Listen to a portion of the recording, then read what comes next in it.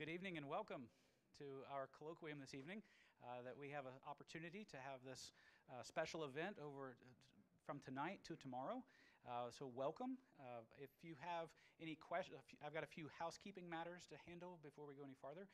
Our whole conference and will be here in this room, uh, all of our panels and that sort of thing.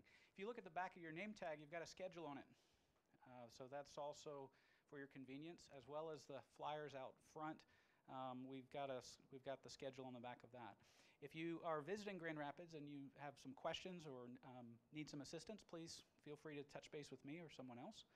And uh, I'd also like to take this opportunity to thank all of our different sponsors who have made this event possible. Um, PRTS, obviously, for the facilities and the staffing that's helped put this event on, as well as to Calvin Seminary for some of the funding that's um, enabled this and also to all of the institutions represented here by the, that have allowed uh, our speakers to, to be here um, in various capacities. So with that, um, thank you, and it's good to see you here, and uh, we look forward to having this conversation over the next couple of days.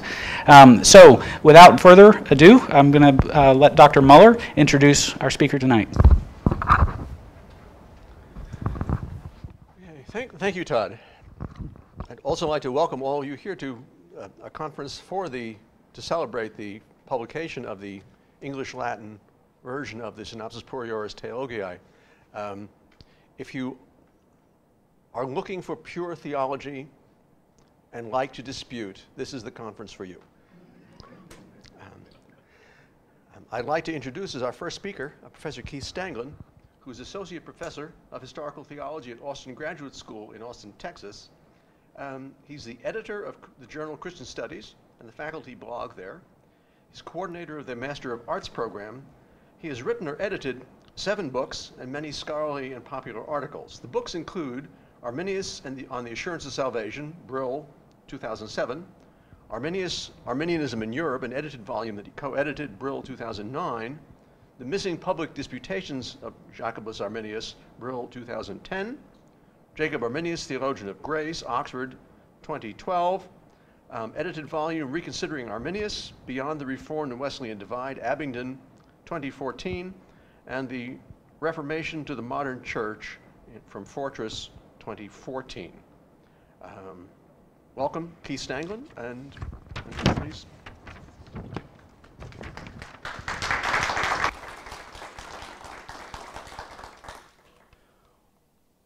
Well, thanks to uh, Richard for those uh, for the introduction, for the uh, invitation to come here and speak uh, tonight. Um, I wrote to Jay Collier, um, maybe seems like three or four weeks ago, to ask uh, how long the presentation should be. Whether I was thinking 20 or 30 minutes, and uh, he wrote back and said somewhere between 45 minutes and an hour, and then leave some time for questions. Uh, so I was a little worried about that, but now that I look um, at what I have before me, I will try to keep it at under an hour, or maybe just exclude the opportunity for questions. Um, that's a joke, okay. Um, but I'll get right into it. We're here to examine the synopsis Purioris Theologiae and in studying it to recognize its significance and perhaps to many its orthodox content. The significance of the synopsis, writes G.P. van Itterzon, should not be underestimated. Christian Sepp, the Anabaptist preacher, declared, Truly, this synopsis is an excellent book. Others have been less effusive in their praise of the synopsis. In 1646, the Remonstrant professor of theology, Etienne de Courcelles, introduced readers to the collected Leiden disputations of his recently deceased predecessor, Simon Episcopius. In the course of his introduction, he finds it appropriate to compare Episcopius disputations with those found in a popular handbook of Reformed disputations. He writes, quote, Truly, if it pleases one to compare the Synopsis Purioris Theologiae promulgated after some years by the professors substituted in Episcopius' place. With these disputations of Episcopius, it would not be difficult to demonstrate that the title of purity in which it boasts is much more correctly appropriate to them. End quote. De Courcelles' rare but typical Arminian assessment of the synopsis is predictable. In comparison, Episcopius pre-Dort Leiden disputations are actually purer. What is more interesting, though, is De Courcelles' assumption that is implied by the handbook's very title, namely, that there is a noticeable, easily demonstrable difference between pre and post Dort Leiden disputations. Although he insists that it would not be difficult to demonstrate, nevertheless, de Courcelles does not bother to demonstrate exactly how Episcopius disputations are purer than those of the synopsis, or conversely, how the synopsis might be less pure. It's my aim, therefore, to examine this assumption shared by both parties that there is a difference in these sets of disputations. Just how much purer is the synopsis Purioris Theologiae than the disputations of its pre Dort predecessors? In order to do justice to this central question, it's necessary first to set the context and provide an overview of the synopsis and its forerunners at Leiden with which the comparison is to be made. So, first, on this new Leiden reiteration. The Synopsis Purioris Theologiae is a, is a gathering of 52 disputations composed and conducted under the, the presiding of the four professors of theology at Leiden University Johannes Polyander, Andreas Rivetus, Antonius Walaeus, and Antonius Thysius. This collection, first published in 1625, comes on the heels of the Synod of Dort and represents a unified Reformed voice on the chief points of theological instruction. The immediate significance of the compilation is reflected in its four subsequent 17th century printings. Revived interest is reflected in the publication of its sixth edition in 1881, its later translation into Dutch, as well as the Latin and English edition currently in progress. The synopsis has been recognized as an important source in Dutch Reformed dogmatics and in more recent historical theology. It's important first to understand the genre of the synopsis as a collection of disputations. Disputations were an essential part of the curriculum in medieval and early modern universities. Centered around a contested or contestable topic or quaestio, the disputation included the proposition of theses to be defended against objections with appeals to recognized canons of authority. They were characterized by precise definitions that were then elaborated by a typically scholastic order of questioning and frequently by the use of Aristotelian causality. The disputations were conducted orally in the university setting, though they were recorded by amanuenses or later the propositions were printed prior to the oral disputation. In Leiden, the theology professors oversaw private and public disputations. So, private disputations were for the private instruction of students outside the walls of the university, sometimes in a professor's home. Public disputations were either pro gradu or practice. A pro gradu disputation was composed and defended by the student who was to be granted a degree. But the more common type of public disputation was the practice disputation which in the case of Leiden's Theological Staaten College was composed by the professor and defended orally by a student. Public practice disputations came in two types. There was the quodlibetal and those that were part of a collegium. On the one hand, the quodlibetal practice disputations consisted of ad hoc topics outside of any set order. In Leiden, these disputations typically went by the title Theses Theologicae. On the other hand, the practice disputations conducted within a particular collegium were part of a determined order or integral series of topics. For an example, the regent of the Staaten College, Johannes Kuchlinus, conducted a series of disputations that proceeded in order through the questions and answers of the Heidelberg Catechism. Individual disputations came to be collected into books of their own. Since the medieval period, it was not unusual to collect the disputations of a certain author in order to represent that author's thought.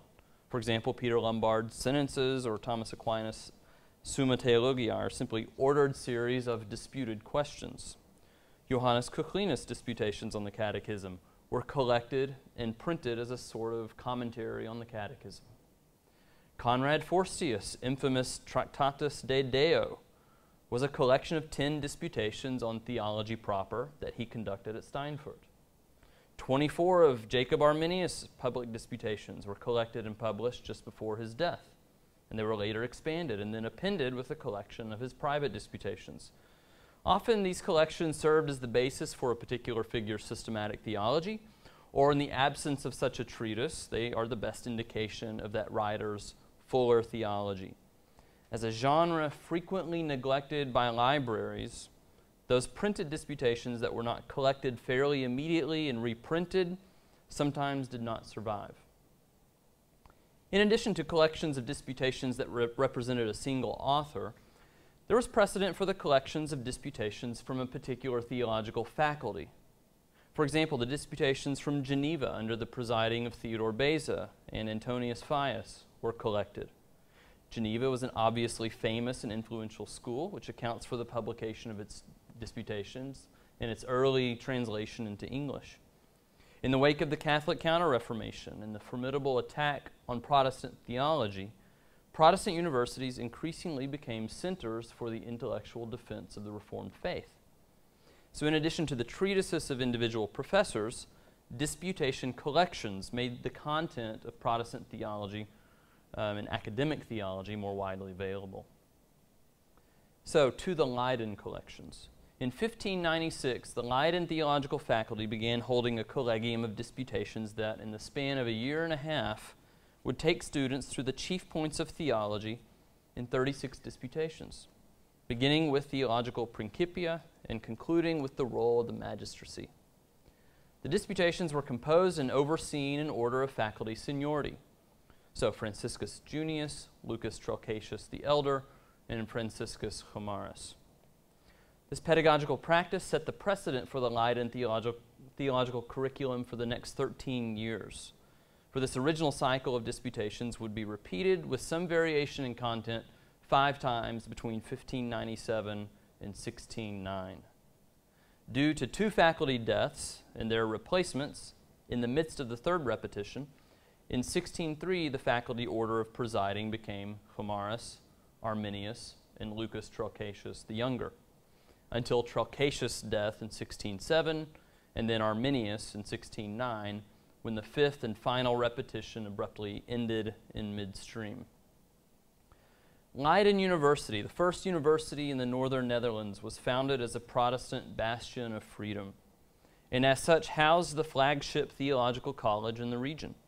So it's not surprising that there would be intense interest in the United Provinces and beyond in the work of Leiden's theological faculty. The Leiden faculty anticipated that there might be ongoing interest in these cycles of disputations beyond the oral events. In fact, they planned for each repetition to stand alone as an example of Leiden theology. This intention is most clearly seen in the pagination of the individual printed disputations. Beginning with the first repetition, the separately printed quarto sized pamphlets of each disputation in the cycle were paginated consecutively in expectation not simply of eventual reprinting, but of literally immediately binding together in one volume upon completion the disputation in each cycle. In other words, it was intended that these five repeated cycles of disputations, each conducted over the course of a one to three year period, would each be gathered to form a handbook of Leiden theology. Examples of these bindings appear at the Leiden University Library and at Trinity College Dublin, at least in those places. Due most likely to the scarcity of the original disputations and the difficulty of finding a complete set to bind together, two complete cycles were later reprinted and published with new pagination. The first repetition, representing the disputations of Junius, Trelcachius Sr., and Gomarus, was published in 1611 and the fourth repetition, the syntagma, represents the disputations of Gomarus, Arminius, and Trelcachius Jr., was published in 1615. In this latter case, the printer acknowledges Im imitating similar examples of republication of disputations at Geneva under Beza and Faius, at Sedan under Daniel Tilenus, and at Heidelberg under David Paraeus. The printer of the fourth repetition planned also to publish the fifth and final and incomplete repetition, though this was never done. From the earliest days, then, each cycle of theological disputations in Leiden was intended to cohere together as a sort of handbook of theology.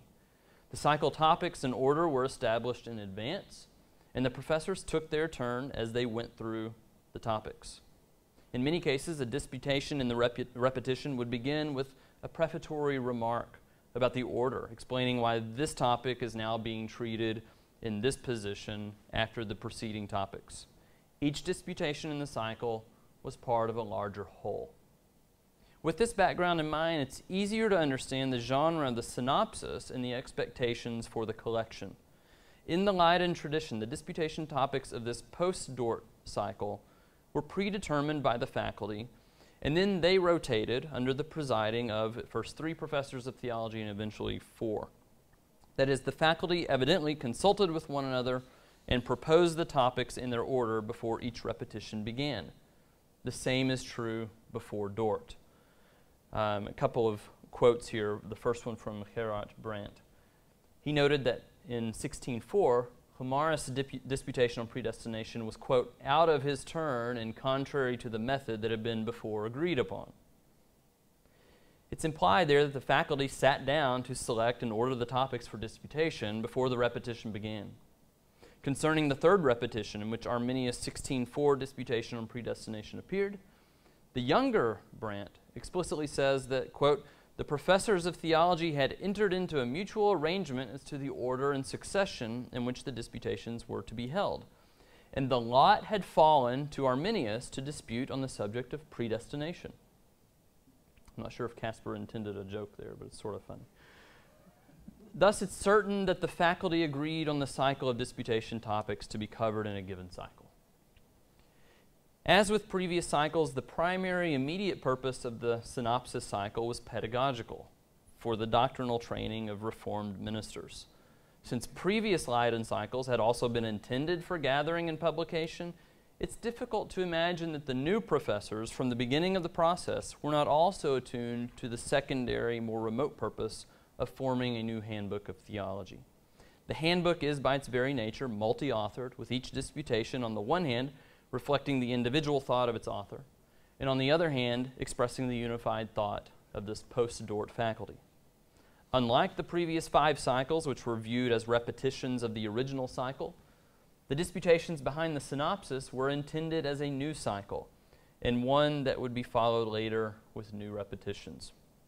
So, all that and enough for background. And now for the main research question.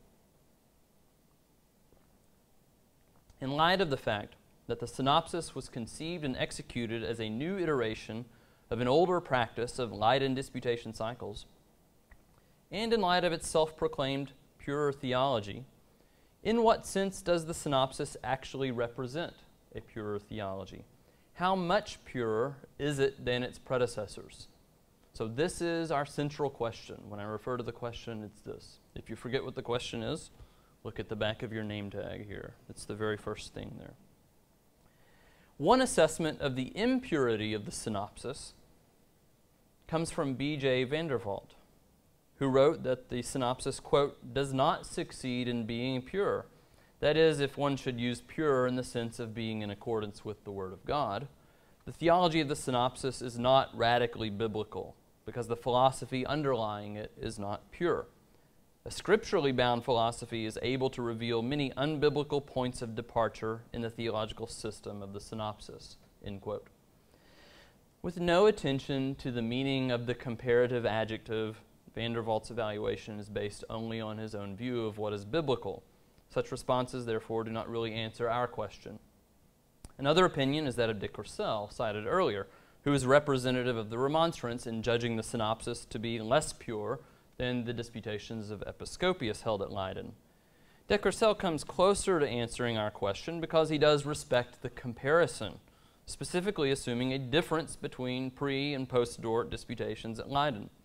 Unfortunately, as stated earlier, he does not reveal where those differences lie. So, my aim now is not to make a dogmatic assessment of the synopsis.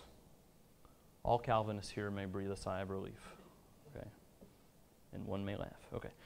Um, rather, when I use the language uh, of the synopsis and ask whether it is pure, I mean to ask merely the historical question of whether it is different and how it is different from previous iterations of Leiden theological cycles. I'll analyze what the authors themselves suggest about the comparison, if time allows, uh, what one later theologian has suggested, and then examine the disputations themselves before stating the conclusion. So, first, statements within the synopsis itself.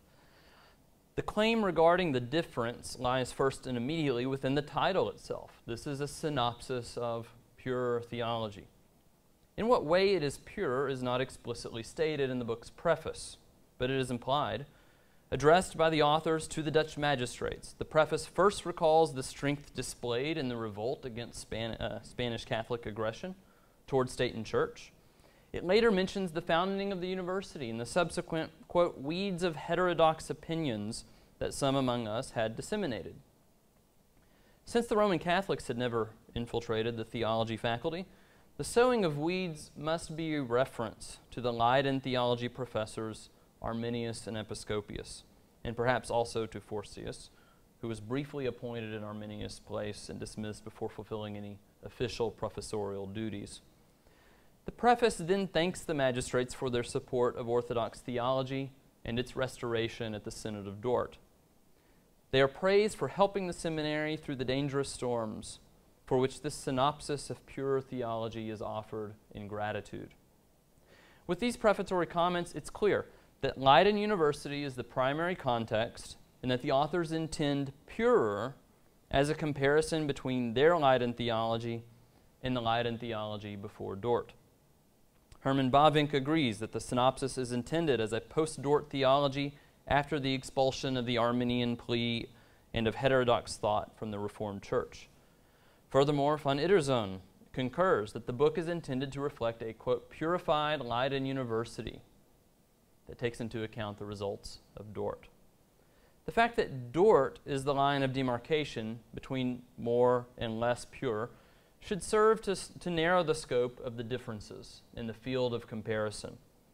Although the issues treated in the canons of Dort may affect many areas of theology, the five heads of doctrine and closely related points are where we should focus our attention in answering our question. In other words, we should not expect to find the sharpest differences in, for example, Disputation 3 on the canonical and apocryphal books, or in Disputation 26 on the office of Christ. However, when searching through the more typical places, that is, in topics that were contested between remonstrance and contra remonstrance, uh, the synopsis still does not offer much clear help in discerning the differences. In fact, for a book whose very title indicates a polemic against the thought of Arminius and Episcopius, there is a startling lack of polemic against remonstrantism. It's not that the new Leiden faculty was sympathetic to the remonstrants or their theology. It was not. After all, in 1626, the four Leiden professors collaborated again in a lengthy 333 page censure of the 80 page Remonstrant Confession of 1621. In the 1626 censure, the Leiden faculty took time to disagree with most points of the Remonstrant Confession, from the topic of Scripture to the topic of synods. One cannot help but wonder if this censure, published five years after the Remonstrant Confession, but only one year after the synopsis, is a sort of self correction to the moderation and the inattention to the remonstrance in the 1625 synopsis making up in some ways for being, being too friendly in the synopsis. At any rate, in the synopsis, the remonstrants are never mentioned. The only mention of the Synod of Dort comes in the conclusion of Disputation 17 on free choice, when the error of the semi Pelagians is rejected, with brief supporting quotations, not from Arminius or Episcopius, but from John Cassian and Faustus. On the face of it, it's difficult to agree fully with Bavinck's claim that the synopsis, quote, exposes and pursues controversies with remonstrants and papists acutely, accurately, and perspicuously. One could equally argue that even if the positive doctrines are plain, the controversies with remonstrants are not exposed and pursued clearly at all. As it turns out, the harshest contra remonstrant polemic in the synopsis seems to come in the title.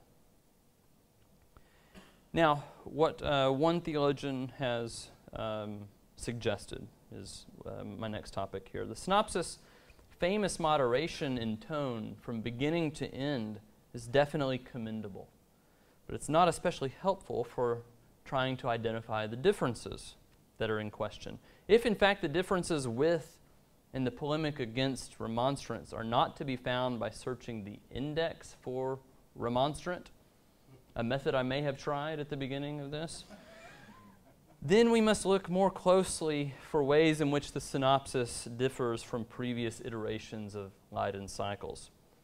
Van Itterzon suggests a couple of ways in which the synopsis is distinctly reformed and by implication different from its rivals.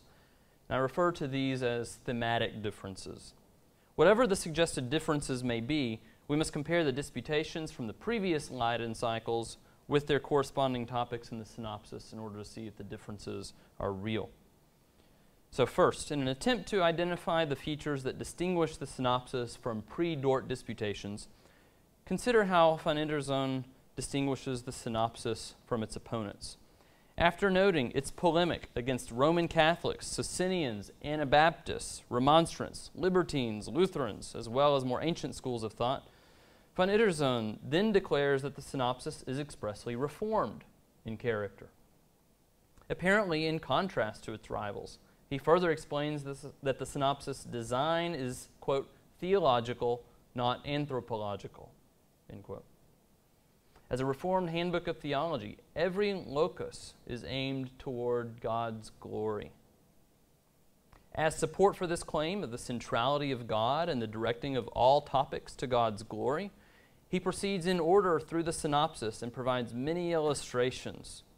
The following selections from various disputations are indicative.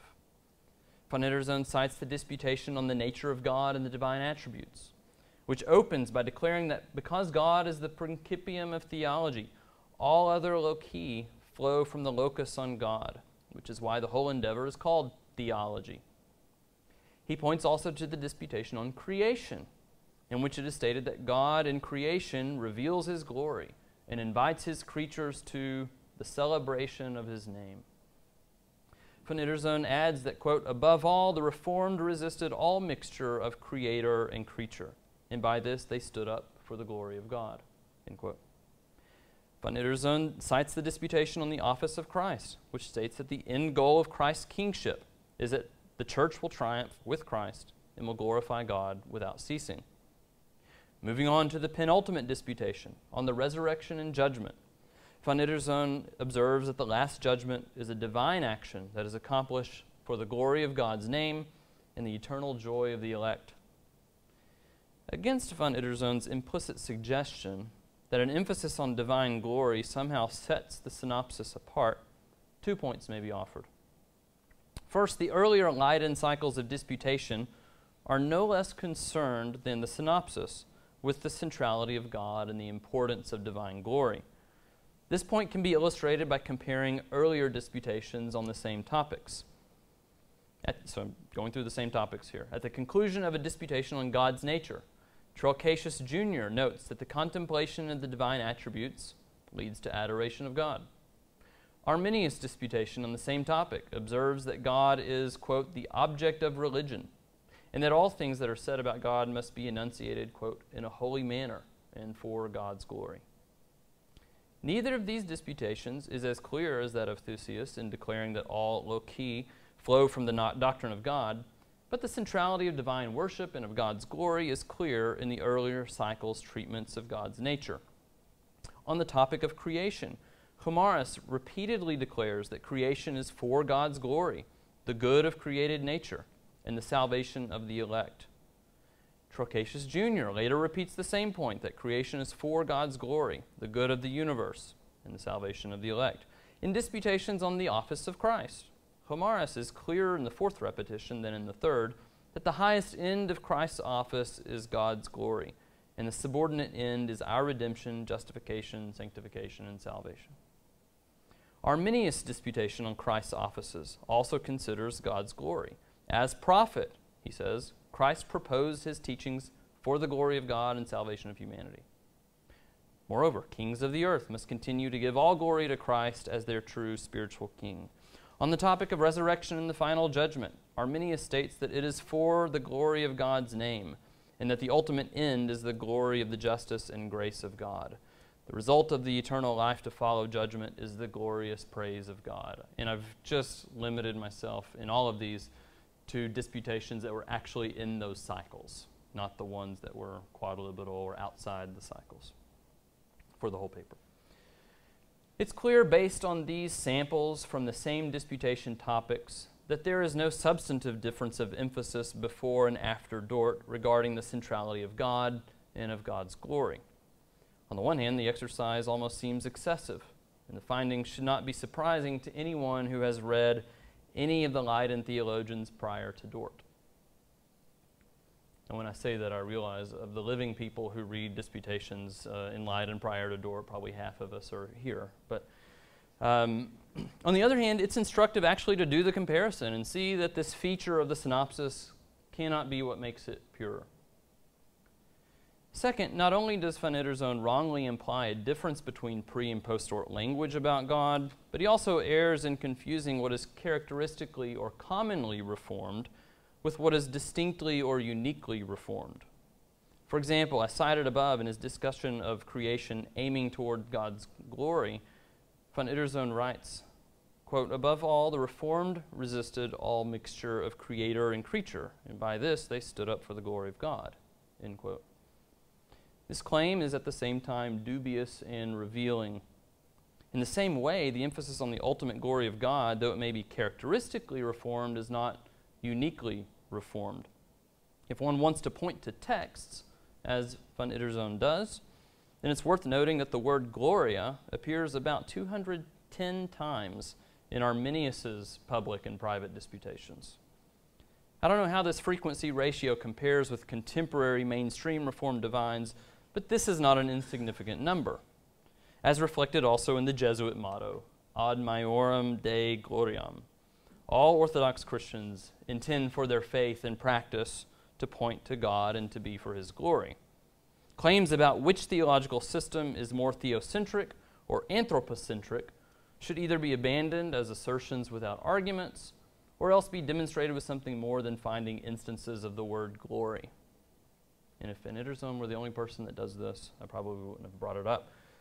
Thus, whereas we may acknowledge that the synopsis is theological, not anthropological, and that it is aimed toward the goal of God's glory, we must reject his assumption that it's thereby distinctly reformed.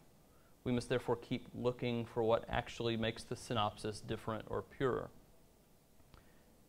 So, moving on. Somewhat related to the last suggestion, Van Itterzon next states that, quote, the reformed character of the synopsis comes out further in the synthetic structure of the disputations, end quote. Once again, by pointing specifically to its reformed character, he implies a feature that distinguishes this handbook from non reformed or pre Dort counter, counterparts. He explains that the motivation of the whole arrangement is not the salvation of humanity. On the contrary, he writes, the various loci are strongly theologically oriented. He then mentions the general order of the topics, from the nature of theology to the principia of Scripture and God, to God's essence, creation, and so on, all the way to final judgment. He also stresses, quote, the strong predestination tinted treatment of the doctrines. The claim about the structure of the book and the order of the doctrines revealing a strong theological, that is, theocentric, organization is similar to the earlier claim, but now writ large. It's puzzling, though, for systematic theology's focus on God is as old as Christian systematic theology. And so, this point about the theological order reflecting a reformed character can probably be dismissed. It does, however, raise an interesting question that he doesn't bring up about the order of topics in the synopsis in comparison with pre Dort Leiden cycles. So, I will raise it. Before Dort, each repetition of the cycle varied somewhat in length and content from the one that preceded it. The original cycle apparently had a total of 36 disputations. Then the first repetition was very long, 63 disputations. And the second, very short, 24. The third repetition, which was arranged by Junius, Trelcatius Sr., and Gomarus, found the right balance, really hit the sweet spot on length and content. The number order, and titles of the disputations varied little between the third and fifth repetitions. In comparison with the pre Dort cycles, the number of disputations in the synopsis, which is 52, is on the higher end, but still close to the standard 47 represented in the fourth repetition. The topics in order are nearly the same as those treated in earlier cycles. Two exceptions stand out. First, in the three earlier Leiden cycles in which the disputation on resurrection and eternal life appears, it always follows directly after the topic of calling and directly precedes the topic of the Catholic Church. In other words, it concludes soteriology and then moves on to ecclesiology. In the synopsis, however, the one disputation has become two one on resurrection and judgment, and the other on the consummation of the age and eternal life. And they have been moved to the very end of the book, concluding the whole cycle. Though unprecedented in Leiden, these are also the final two topics in the printed collection of Geneva's disputation cycle.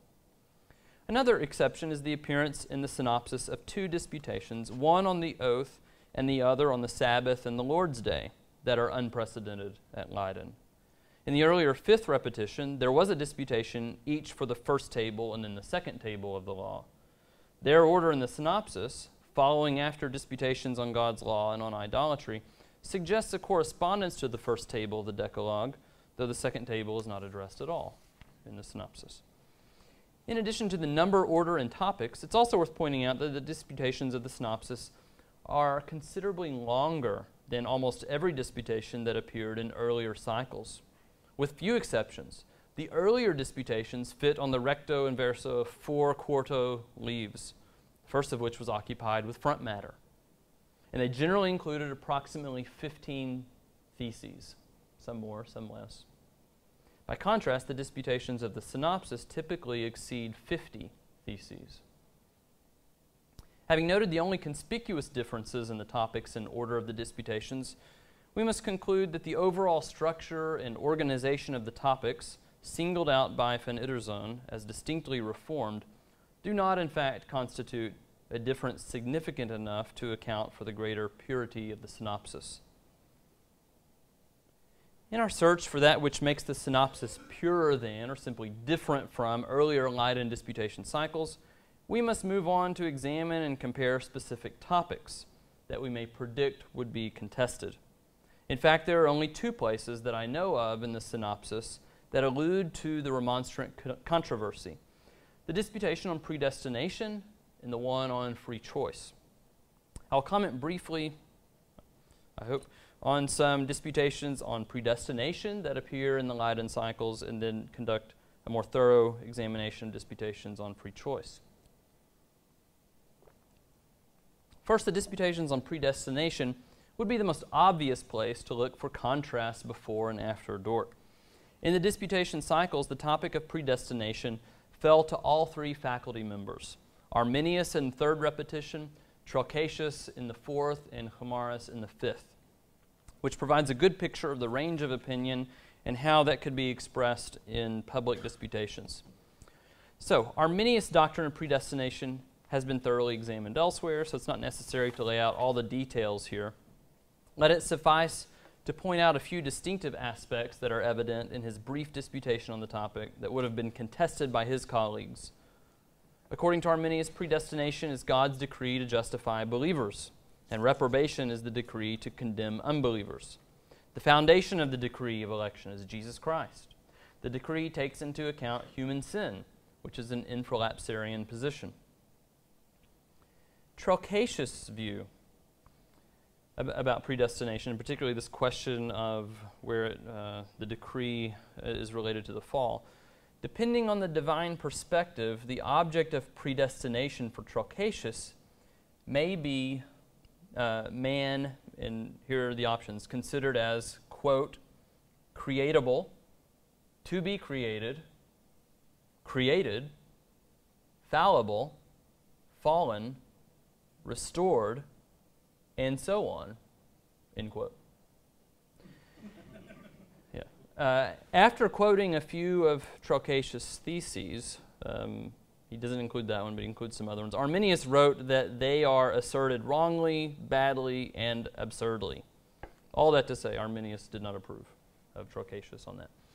And Gomarus' view was uh, clearly supralapsarian. Um, he does other disputations of predestination. The one in the fifth repetition, I will skip for now It's uh, the one that I found that is longer, at least in the number of theses, than anything in the synopsis uh, that I recall. It's 124 theses long, and one corollary. Um, the synopsis on predestin- the disputation on predestination was uh, composed by Walaeus. It begins nearly verbatim with Trelcatius. Quote, predestination is arduous and full of difficulty. End quote. But it should be taught in the churches. Two main points I take uh, for, for our purposes here from its content. One, the material cause or object of election. This is the synopsis now. Quote, the matter from which God graciously elects certain ones is the human race, fallen from primitive integrity into sin by its own fault and liable to condemnation, end quote. In its clear preference for infralapsarianism, the synopsis is quite different from Trelcatius and especially Gomarus. Two, without mentioning any names, Walaeus describes a view held by many, quote, who wish to be members of the Reformed Church, end quote. He proceeds to describe and rebut what is taken to be the remonstrant view, namely that election is based on foreseen faith, which arises, quote, partly from the gift of God and partly from human free will. In sum, on predestination, the synopsis certainly differs with three of its predecessors, though more explicitly with Arminius than with Trelcatius and Gomarus. So enough on that. We say, okay, there's a big difference there. Free choice. Since Arminius called the topic of freedom from sin the chief controversy today, we'll trace the topic of free choice as it's treated in the various Leiden cycles and look for any development and later differences with the synopsis. So, in the third repetition, pre-dort, third repetition, the disputation on free choice fell to Gomarus, who was the only living faculty member at this time in 1603. All the disputations fell to Gomarus for a few months there. According to Gomarus, following Augustine, free choice is a faculty both of the intellect and of the will. Although corrupt humanity may not be free from slavery to sin, there is freedom from coercion. Gomarus takes pains to deny metaphysical determinism, claiming that neither the eternal decree of God nor the temperament of the person introduces any force into the will. He defines free choice as, quote, a faculty of the rational soul free from all coercion, which, having followed the mind's judgment, either chooses by reason of the good an object revealed by the intellect, or refuses the object by reason of the evil, or suspends both options, end quote. After defining free choice, Gomarus, again following Augustine, considers the abilities of free choice under four distinct human conditions three in this world, the state of innocence and integrity, the state of malice and corruption, and the state of grace and regeneration, and one in the world to come. Under the first state, Adam truly possessed free choice, and since he could have acted otherwise if he had willed, he was under no coercion or necessity to sin. When discussing the state of corruption, Gomarus distinguishes three categories of action. One, natural actions pertain to animal life, such as eating and sleeping. Moral actions pertain to external obedience and conservation of the human race. Three, spiritual actions concern the spiritual life and true beatitude. In natural actions, common grace is granted and the natural aptitude of intellect and will is retained so that one can perform the duties necessary for sustaining natural life.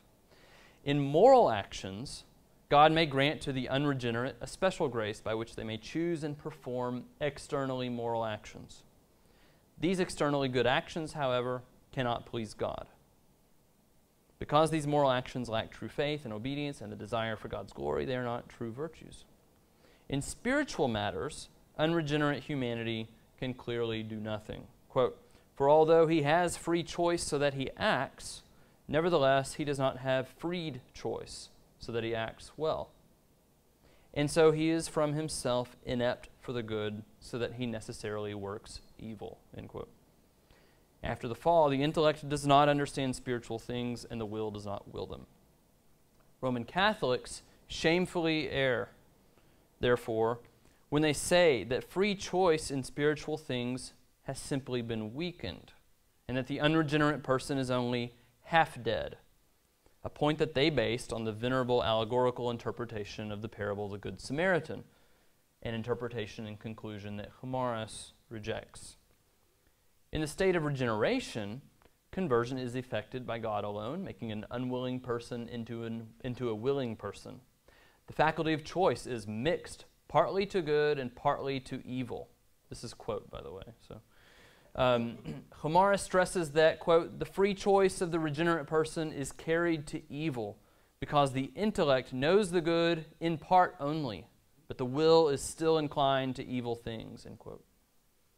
Gomarus concludes with a brief description of free choice in the final age when the free choice of the damned will be immutably for evil and the choice of the blessed will be immutably, immutably toward the good.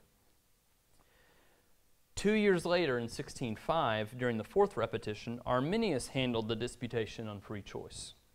Arminius defines free choice primarily as a faculty of the intellect, and like Gomarus, he notes that it is transferred also to the will. He distinguishes three categories of good things to which choice may be directed. One, natural things, which humanity has in common with other creatures. Two, animal things, which belong to humans in particular. And three, spiritual things, also called heavenly or divine, are things consistent with being participants in the divine nature. These categories correspond to Gomarus' three types of good actions natural, moral, and spiritual. Arminius also treats the freedom from sin under three human conditions in this life primitive integrity, subsequent corruption, and renewed righteousness. He does not go on to discuss the final state of beatitude.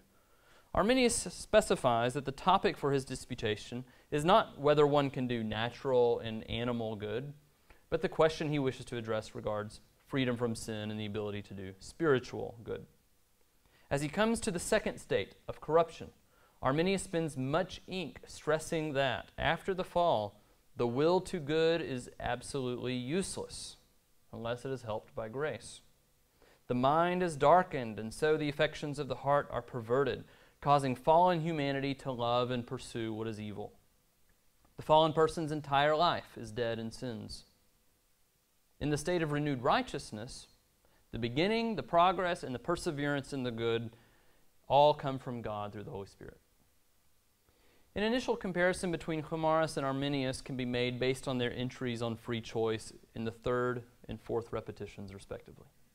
Overall, Arminius' disputation on free choice is standard fare for a Reformed theologian, and it is, on many points, in complete agreement with Gomarus' earlier disputation. At the same time, a closer look may reveal some subtle differences. Because Arminius admits that well, just talk about some silence first. And we can talk about the silence only because we know his views more fully elsewhere in his writings. First, because Arminius excludes discussion of free choice in natural and animal good and skips right to the question about spiritual good, he's able to avoid the thorny question about the status of those externally good actions that Gomarus claimed are not pleasing to God and not true virtues. Another point of silence that may be significant is that Arminius does not emphasize, as Gomarus does, that God changes the will of the elect who were unwilling. However, it's not in the silence only, but especially in the positive statements of Arminius that other differences with Gomarus can be perceived. These differences come not in his discussion of the second state of corruption, but rather in the discussion of the third state of renewed righteousness. First of all, with regard to conversion to the third state, Arminius concludes his disputation text with quotations from two of Reformed theology's favorite doctors. Augustine, and Bernard. The excerpt from Augustine highlights the necessity of preceding grace, and the remarks from Bernard indicate that free choice both is saved and saves. With these quotations, Arminius emphasizes indirectly the harmony of God's grace with human freedom in receiving salvation. Second, there are different emphases on the kind of life expected and lived in the third state, that is, the life of sanctification.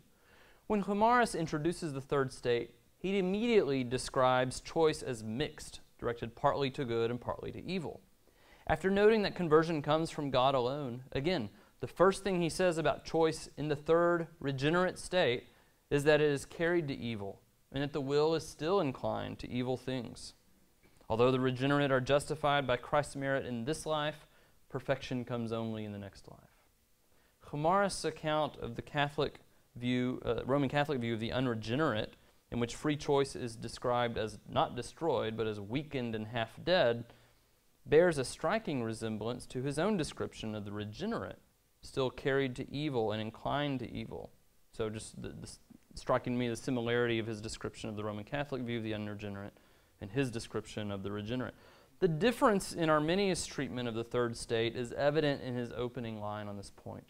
After discussing the very negative situation of the state of corruption, Arminius writes, quote, But far different is the consideration of the free choice of humanity con- constituted in the third state.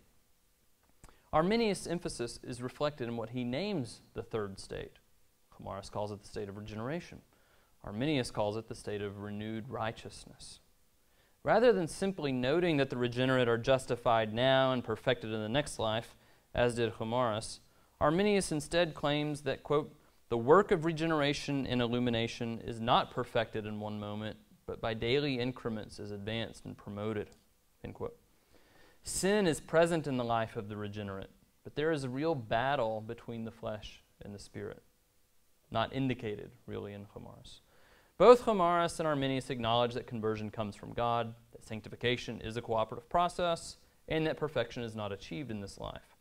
But whereas Gomarus seems at home discussing the evil that the regenerate still do, Arminius' impulse is to underscore the positive call to holiness.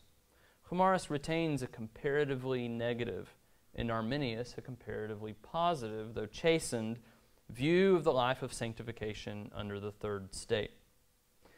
Third, there's a difference in the treatment of the consequences of sin in the regenerate. Gomarus repeatedly acknowledges that the regenerate will sin, but he does not discuss its consequences or the doctrine of perseverance. Arminius' disputation, on the other hand, mentions that, quote, if those who are reborn fall into sins, they neither repent nor rise again unless they are raised up again and renewed to repentance by God through the power of his Spirit, end quote. It's not explicit, but this sentence does hint at the grave consequences of sin and perhaps the possibility of apostasy, a doctrine that Arminius clarifies elsewhere. Okay, so those are the first two. In the fifth repetition, 16.7, the topic of free choice fell again to Gomarus. And it's instructive to compare this disputation with his earlier one and with the one by Arminius that fell between them. Here, Gomarus abandons the typical outline of the three states of human choice in this life, though the categories remain implicit. After a brief definition of free choice in the opening thesis, Gomarus immediately launches into the controversy, questioning what a non reborn person can do with regard to spiritual good. He asks whether the unregenerate, by a certain internal first principle and by his own powers, can will or choose a truly spiritual good he answers in the negative. Quote, corrupt and non reborn humanity can will or choose nothing of spiritual good by his own powers. End quote. What, what took 15 theses to arrive at in his previous disputation in 16.3, Gomarus now answers already in the second thesis. He proceeds to prove this thesis by an array of scriptures that he classifies into five categories. After these references, he concludes once again that for the unregenerate, quote, whatever he is able to will or wills to choose or does choose, it only is sin, either simply from itself or from accident, end quote. By sin ex accidente, Gomarus means externally neutral or good actions that are not done from faith or for God's glory. In other words, Gomarus does not hesitate to call even the best works of the unregenerate sin. As to the beginning of the state of regeneration, Gomarus emphatically denies that a person can, by his own ability and will and power, consent to the divine calling. Progress in the state of regeneration is only accomplished by God's will, and Gomarus continues to stress human inability, corruption, and an inclination to evil. So the subtle differences between Gomarus' first disputation on free choice and Arminius on the same have more to do with a few details of content than in structure. The differences between Gomarus' two disputations, the one before and after Arminius, have more to do with structure than with details of content. To be sure, in his second disputation, Gomarus merely strengthened some of his own points that Arminius did not address, as well as other points concerning which he may have perceived Arminius' positions to be inadequate. But it's striking that only in this latter disputation Structurally speaking, Gomarus leaps over the typical introductory discussions about free choice, neglecting the categories that would contextualize the controversy, and instead rushes straight into the contested questions. In the 16.3 disputation, as well as on a quodlibetal disputation back in 16.2, Gomarus exhibits a sort of patience for the preliminary questions that he does not have now in 16.7. I don't know whether Gomarus was using this disputation as an opportunity to respond to Arminius' disputation from two years earlier, but I suspect he might have been. He had done this before in 16.4, using a disputation on predestination to counter one from Arminius eight months before, that time out of, outside of the cycle. Um, I'll be very brief. Um, I'll, I'll, be briefer than I would have been on um, the synopsis because I noticed that I think Mark is doing on free choice on the synopsis um, tomorrow, and for the sake of time as well. But um, let me see if I can sum up um, some of this on the synopsis quickly. Um, basically, it's in agreement. It goes through and, and uses those four categories of uh, free choice um, in the, the, various states. Also, the three uh, corresponding uh, objects and, and, corresponding actions directed to them calls them the biological or natural, then the civil or philosophical, and the spiritual goods. Uh, same three categories. Nobody can seem to agree on what to call the second one, but it's, it's really the same thing. Um, in agreement with Gomarus and Arminius, corrupt humanity is said to have the power to do some natural good, first category, some civic or philosophical good, but no spiritual good. Um, it emphasizes, like Gomarus does, but like Arminius omitted, that the external results of an action may be good, but the action itself is still rendered as sin um, and no human cooperation in conversion. Um, in points where Gomarus and Arminius seem to differ with one another in their disputations on free choice, the synopsis sides with Gomarus. The indefatigable emphasis that Gomarus places on the regenerate person's inclination to evil, I think, is dialed back slightly in the synopsis, which seems to leave a somewhat more positive role for sanctification though it still falls short of the optimism that Arminius maintains for sanctification in the third state of regeneration, in what he calls renewed righteousness. So it certainly differs from Arminius, but the disagreement is less stark than that between Gomarus and Arminius. Apart from the disputation on predestination, the topic of free choice was perhaps the most contested topic of the Arminian and Remonstrant debate represented in the synopsis. As a pure theology, one might expect clear differences with the disputation cycles that preceded it. But such is not the case. The differences are not highlighted or pursued, and neither Arminius nor the Remonstrants are mentioned by name. As noted earlier, however, the closing, closing theses of this disputation do mention the opinions rejected at Dort, referring to what the synopsis there calls the semi Pelagian error, namely, that free choice is weakened but not corrupt and that conversion is due partly to grace and partly to free choice. If this post Dort Leiden theology is pure in comparison with the corresponding disputation cycles before Dort, then Arminius must be the target here. As we've seen, though, this description of fallen free choice does not apply to Arminius' disputation, which expressly calls the fallen condition the state of corruption. It also does not apply to Arminius' discussion of conversion, whose disputation never said that conversion is due partly to grace and partly to free choice. After this comparison of four disputations on free choice, what conclusions can be drawn about the content and any significant differences or increased purity in the synopsis? The substantive differences that may be found between Arminius and the synopsis are few and far between. One must search in the most obvious places in the disputations on free choice and on predestination to find those substantive differences, and even then they are not immediately obvious. In the disputations on free choice, the differences are subtle, and it takes a trained eye that knows the context and what to expect in order to detect the differences, which are in many cases matters of emphasis. The vast majority of the content in the synopsis is consistent with pre Dort Leiden disputations, whether by Gomarus, Trelcatius, or Arminius. I've not demonstrated this claim, but um, because it would be less interesting to go through maybe the 40 something disputations where they say basically the same thing. That should be done at some point, but uh, we're going to run out of time. So, given the reasonable expectations set by the book's own title and its preface, that the synopsis would be a plain alternative to remonstrant theology, and specifically to the kind of theology taught at Leiden before Dort, one may justifiably be surprised by the lack of clear contrast throughout the work. We're reluctant to accuse synopsis of false advertising, but we can at least observe that the disputations, for the most part, are not much different in content from the earlier cycles.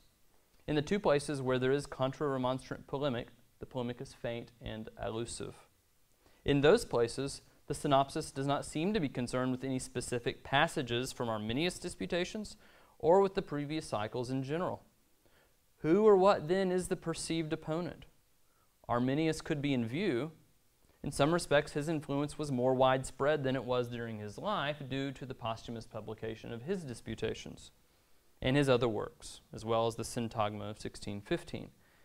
However, because his disputations are not directly addressed in the synopsis, the primary opponent on the topics of predestination and free choice is not a specific individual or a specific group of writings, but remonstrant theology in general, which itself is not a monolithic entity. It is the entire shadow of Arminius, Vorstius, and Episcopius and their sympathizers that the synopsis intends to dispel.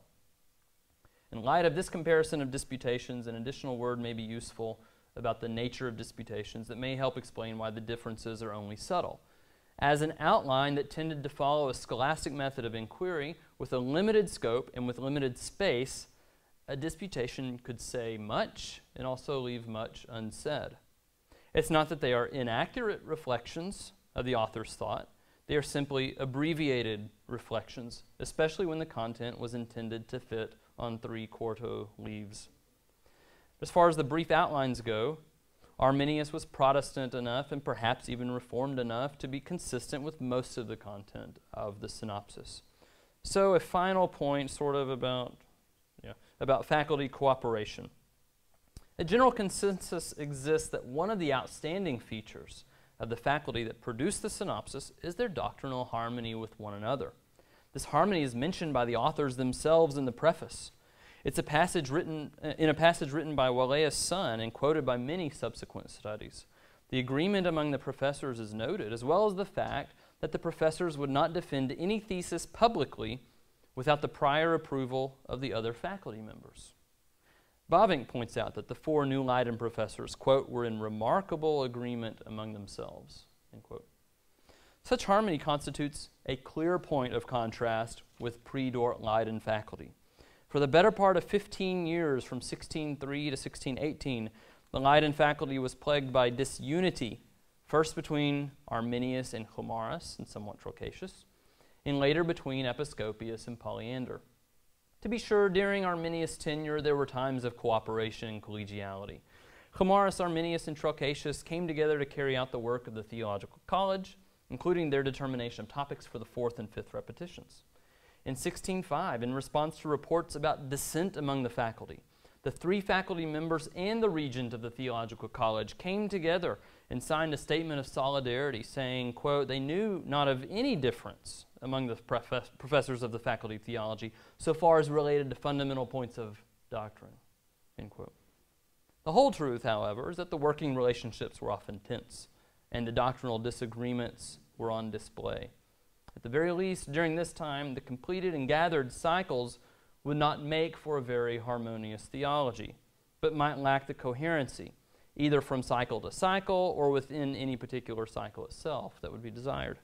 Depending on which professor happened to be assigned the topic of free choice or predestination, the particular content of the Leiden theology could vary from one cycle to the next.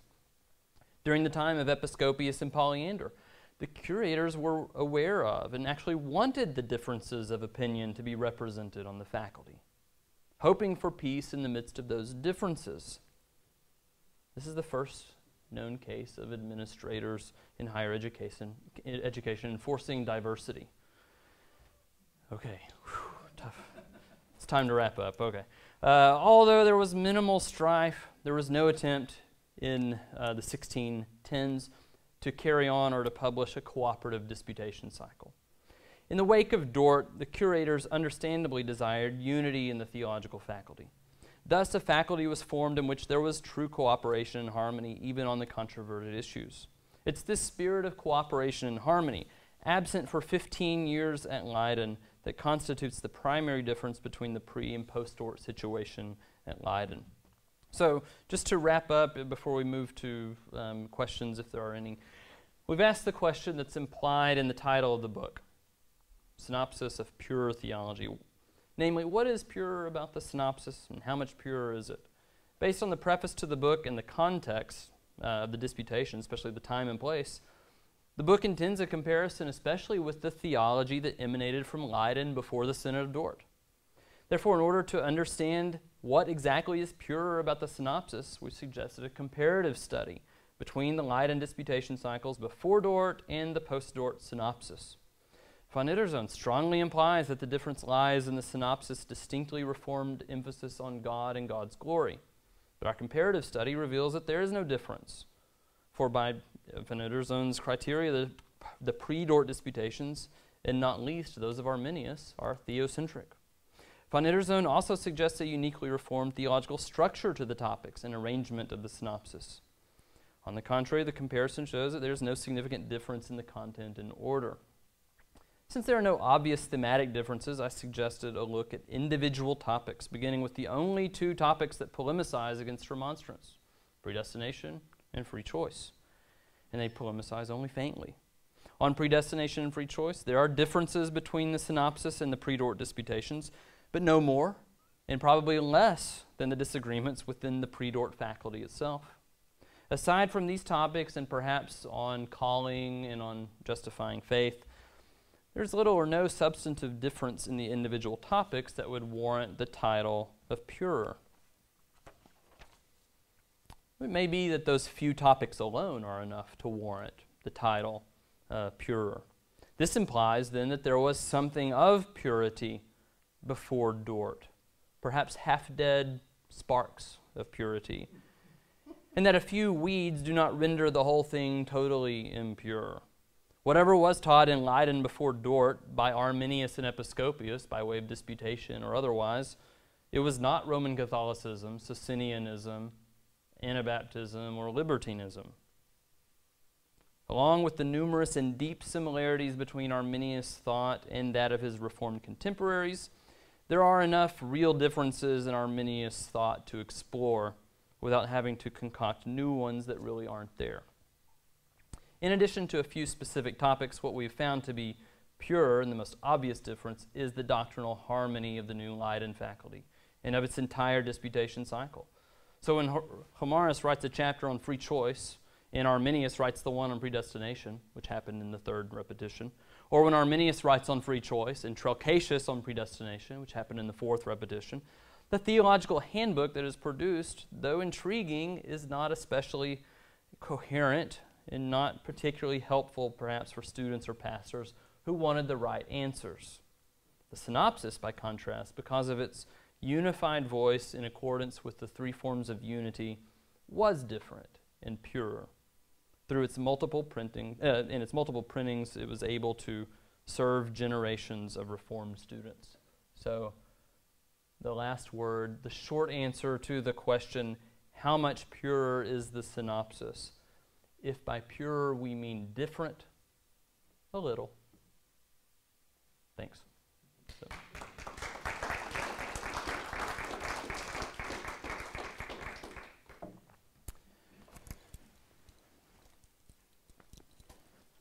Thank you. Uh, at this time, we can open up the floor to some questions, and I'll be happy to pass a mic around.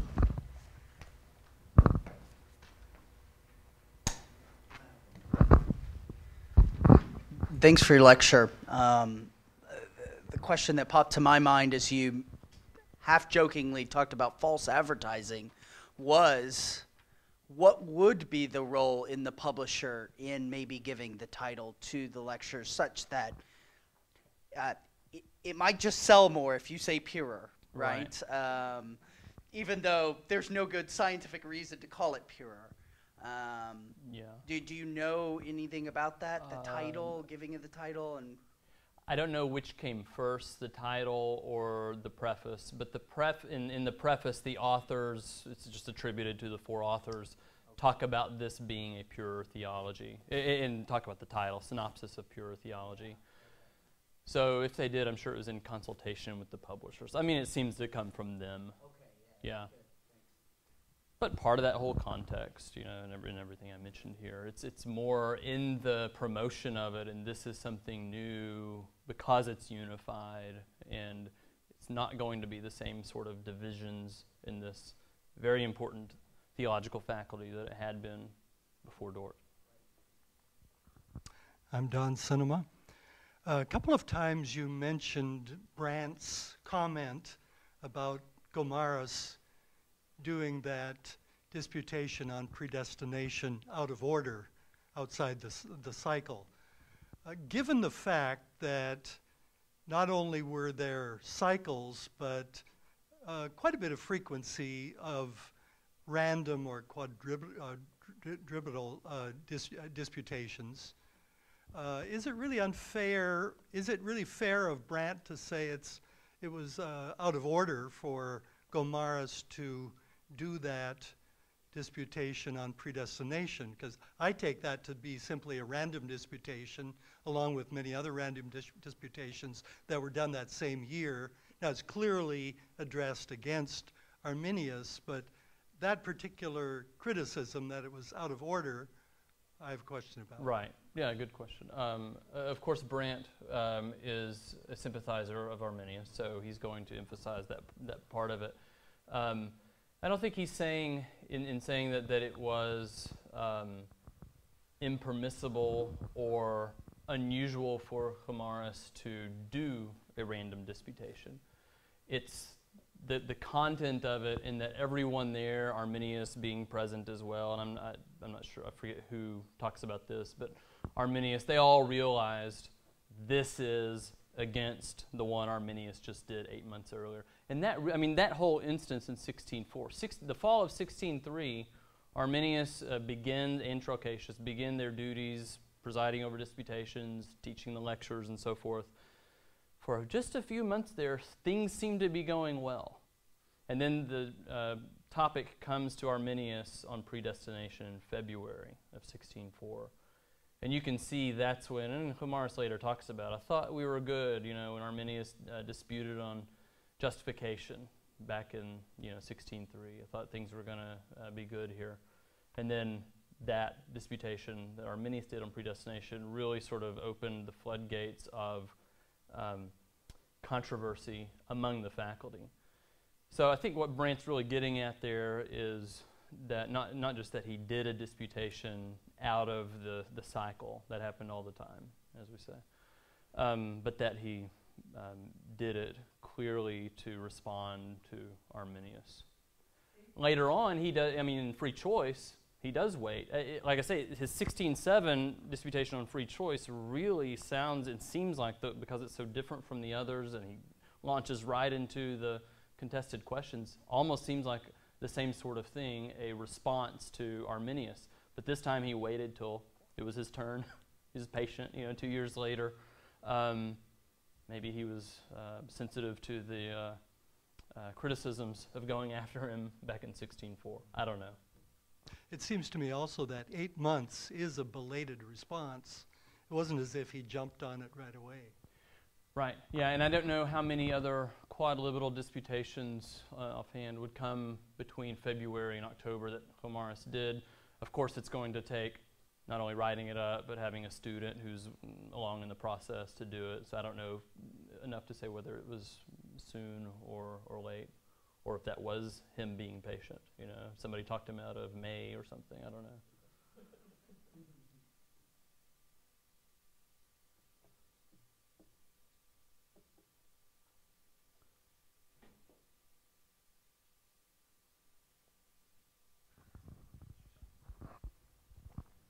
My name is Cedric Parcells. Um, my my question is, a lot of your argument rests on uh, the, the interpretation of the theologies that are, that are present in the, in the synopsis and in the, in the earlier uh, disputations, in the comparison of them. And you mentioned that the fact that there was this change in context uh, with the change of, of the professors. Could it be that the purity of it, and maybe this is what you were trying to suggest, maybe the purity of it isn't so much in what is said, but as in as is what is implied or assumed on the part of the reader when they pick up the synopsis. So there might not be anything explicitly anti remonstrant, but it could be that when a person picks up this text, they are to have this background information that is going to uh, close down the spectrum of interpretation that will help them to, as it were, move easy, more easily into the correct path. Yeah, I, I don't mean to be saying anything different from that, I think, uh, or inconsistent with that. I think that's another way of, of putting what I'm saying here. So that, yeah, there's a, a sort of um, uh, emotional comfort to people who've been worried about what's happening at Leiden for the, you know, the decades leading up to Dort that have really shaken the country in many ways. And now we have, you know, uh-oh, here's theology from Leiden again, you know. Oh, well, this is something we can put some confidence in. This is something we can give to our students without having to say, now which uh, disputation here is something you got to watch out for, and yeah. So there's uh, certainly a comfort and, confidence in in having it, even if the most of the content is similar to what would have come before. But that's that's the question that I'm asking. Is is the question is with the um, with the so you open a text, right, and you read something that might be on the page in terms of the actual words that are used, similar to something that had come before, but because of the change in background, you can always say, well, whatever it means, it can't mean that, right? Yeah. And so um, there's there's a sense in which uh, more is im- implied, I guess, in terms of being. Um, I'm, maybe I'm just repeating myself, but Well. you see what I'm saying there? I mean, Yeah, I think so. I mean the content. And I think I'm in agreement with you. Okay. So yeah, um, yeah, you don't have to. th- Nobody's worrying about what Arminius really means when he says that. Nobody has to worry about what Walaeus really means when he says such and such. You know. And all that's because there's a confidence there, so you're not having to read with the, the critical or skeptical eye that would have been characteristic before that.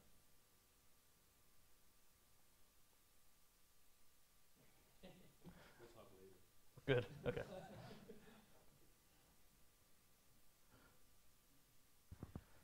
Hi, I'm uh, Jordan Ballor. Thanks for that, that fine talk. How much explicit reference is there to the canons as a kind of uh, um, a standard of purity? Explicit reference? Or, I mean, well, explicit and/or material reference. I mean, how much of a, uh, speaking of a relevant background, how much of it, of that is that the standard of purity that, that we're talking about, or is, is in the background, or, t- and if so, to what extent? Um, yeah, I mean, maybe it, t- it- you- background, is it a filter? You yeah, know, yeah. I think background in the background is a good way to put it. It's um, explicitly mentioned in the preface, and then again in the disputation on free choice at the end there. Um, always in a positive light, of course.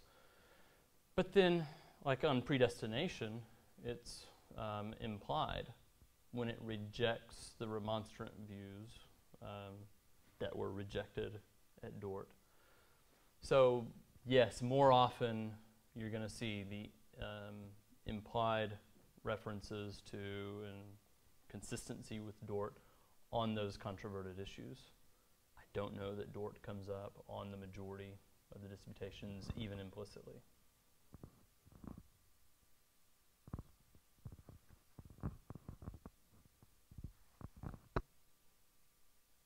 My name is Dolf te Velde. I come from the Netherlands and I'm one of the contributors and one of the editors of uh, this uh, nice uh, edition. Um, thank you very much for your clear and helpful presentation. I'm happy to hear that what we have researched is now becoming common knowledge uh, by your presentation. Uh, so thank you.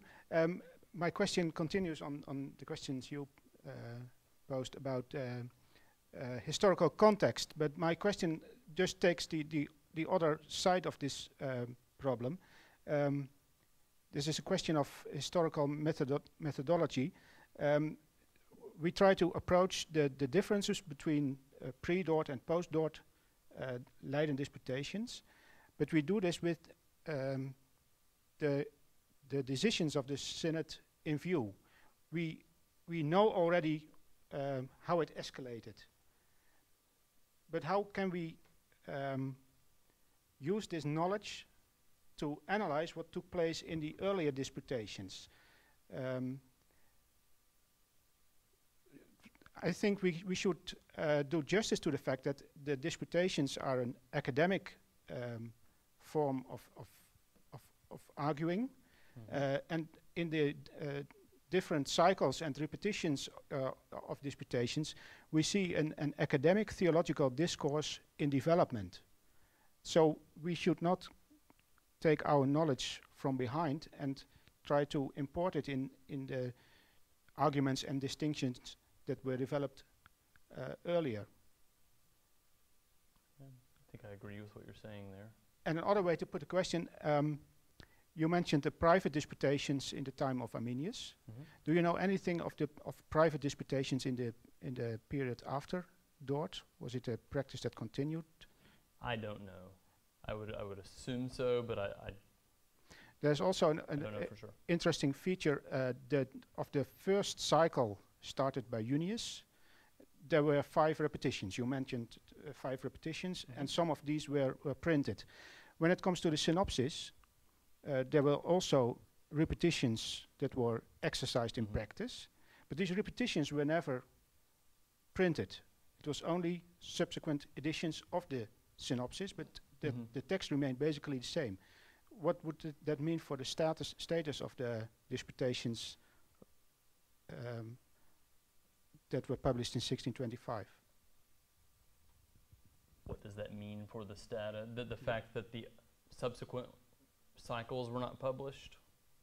The of the synopsis disputations, there um, are individual printed uh, repetitions which differ in text and content from the synopsis edition, but these repetitions were never printed. So it seems that they didn't, did not acquire the same official status as a standard text. Yeah, well, I mean,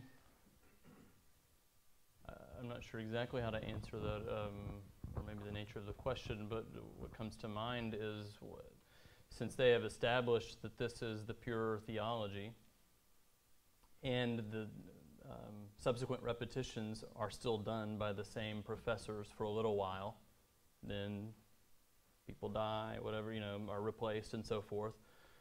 Um, I think I understand correctly that the, in most cases the content, I mean the uh, order of the topics um, stayed the same for a little while there.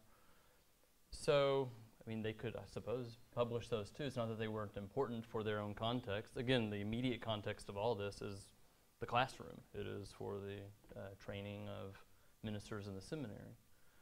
Um, but if they do another edition, I mean a complete other book, why replace something that's already pure if it's there? Are they going to call it Synopsis of Pure Theology 2? Or, I mean, I don't, I don't know. Um, I don't think it, it renders the task obsolete after that as, a, as an exercise. I guess I'm, I'm more uh, also um, interested in your historiographical question. Do you think that there's um, some sort of anachronism in the comparison of the disputations before and after Dort. I just wasn't sure, maybe on your first question, how you were, where you were going with that. I can only give a tentative an answer. I've tried to research uh, differences between Arminius' doctrine of God and the doctrine of God in the synopsis. So my point with the um, historic historiographic uh, uh, point of view is that um, Reformed scholastic theology, as reflected in the disputations, is a theology in search of the truth and in search of the right distinctions, definitions, arguments uh, to explain the truth. Um, then uh, the theology professors um, find some some structures and and uh, term terms of of, of arguing arguing, and it is not immediately clear uh, what the consequences will be. So uh, in in in the case of Arminius, um, it is hard to notice any differences between his doctrine of God and the standard Orthodox doctrine of God, but in my analysis there was a um, a slight but important difference in that he um, discusses, uh, on the one hand, the essence of God, the essential uh, attributes of God, and in the next stage, he uh, discusses the, the life of God, the Vita Dei. Mhm. And in discussing the Vita Dei, uh, Arminius gives more room to the, the world outside of God um, in order to, to sort of influence or occasion the actions of God. Okay. So that, that's a, Okay. structural difference. It is a very slight difference. Yeah. I guess I'd have to think more about how that how Dort uh, would affect that. Um, It doesn't directly affect Dort, but Okay. in the structures of theology, the deeper structures. Okay. But you no, do not see it immediately. You only see it when it develops Yeah. 10 or 15 years Okay. further.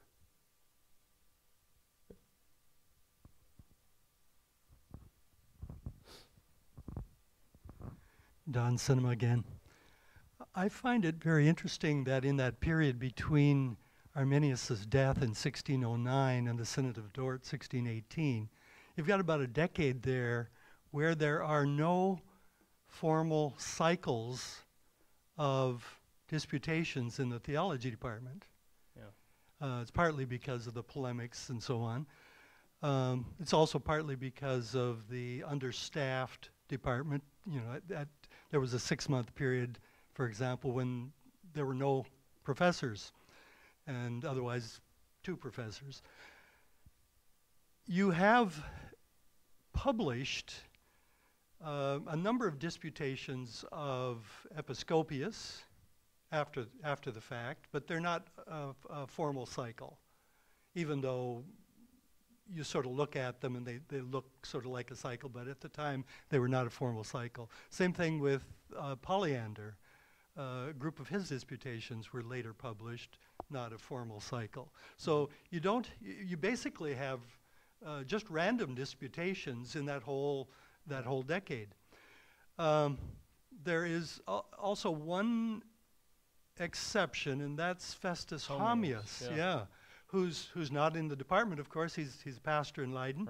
Right. Um, he is asked by the students, some of the students, to offer some instruction, and so he's, he actually does a kind of a It's a cycle of disputation, yeah. disputations on the Heidelberg Catechism, Right. and then a little later uh, on uh, against uh, the Catholic teaching of uh, Bellarmine, and that gets Right. published in 1614. Um, part of though part of his reason for doing that was not just because the students uh, asked for it, but because Episcopius was an Arminian, and at the Staten College, um, Bertius, regent of the Staten College Arminians, are, uh, so so he's doing this kind of to oppose uh, what's happening in the university, in other words. But what he's doing is, is strictly private.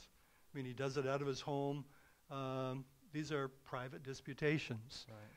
Um, Yeah. I'm, I'm just wondering how that whole pattern in that decade might affect your analysis. Um, well, I mean, it, it affected it simply because, at least as far as cycles go, there was nothing to really look at there. Um, I did check. I mean, what would be very interesting to me is to compare Episcopius, specifically his disputations on these same topics. You may notice I didn't mention him at all. Um, in his opera, at least, he's got nothing there on predestination or on free choice. Um, so there was nothing to look at. Of course, he could look at his institutions and see what he thinks about those things. Um, but um, yeah, I mean that's why I went to the cycles themselves, which ended in 1609 before Episcopius.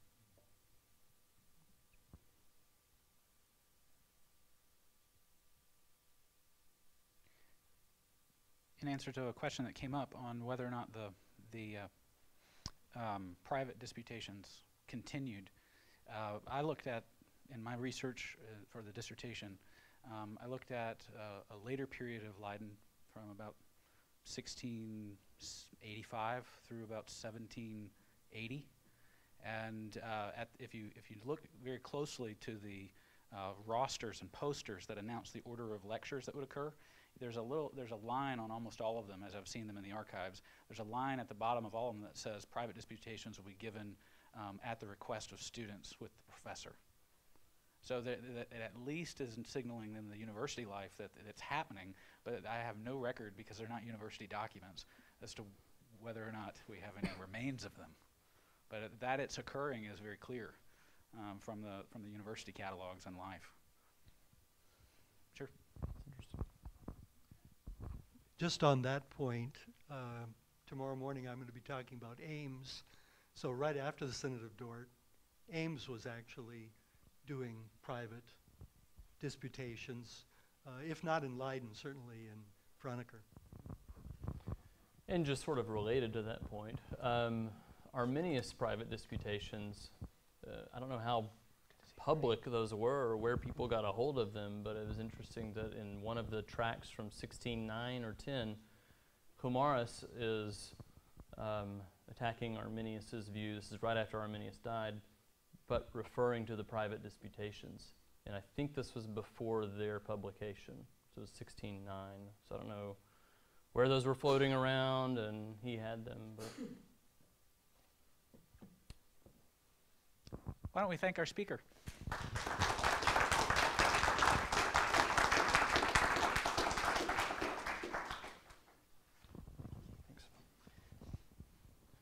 Just by way of reminder, uh, tomorrow morning at 9 a.m. we have a panel discussion.